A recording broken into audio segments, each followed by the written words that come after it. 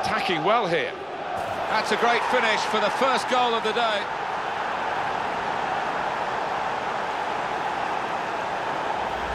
Well, he's beaten the keeper there with power, with accuracy, from distance.